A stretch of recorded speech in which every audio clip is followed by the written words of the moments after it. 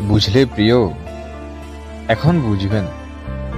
যেদিন হারাবে, সেদিন বুঝবে যে কি হারিয়েছ। আমি যে কে তোমার তুমি তা বুঝে